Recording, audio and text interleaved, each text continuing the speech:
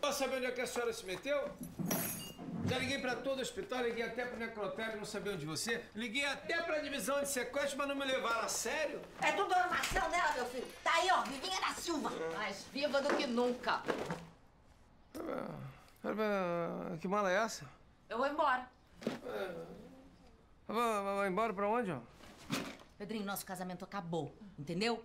Eu vou embora daqui. É blefe, é blefe dela, meu filho, é blefe. É, pera, como, como assim? Separa, vamos me separar de mim. Como- Eu não vou ser mais sua mulher, qual parte você não tá entendendo, Pedrinho? Isso aí, ô, Suzy, é uma metáfora esse negócio? Sabendo? Eu vou desenhar, pra você entender direitinho agora. Ela tá louca, ela tá louca. Ó, O quadro é eu, ô... eu não vou levar essa velharia comigo, não. Isso aqui é pra você entender, ó. Aqui, você, tá?